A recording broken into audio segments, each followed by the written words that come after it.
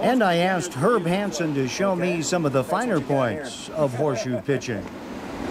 Let's give it a try, huh? Okay. All right, we'll try a flip. What happens if you put one off the roof? Well, So how many points you get for that?